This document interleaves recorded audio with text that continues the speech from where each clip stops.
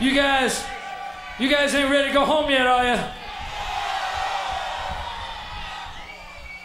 I only got one more thing to say to the world before we go.